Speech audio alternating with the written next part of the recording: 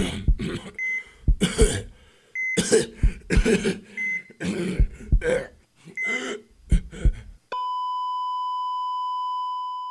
pack a day can take a life away.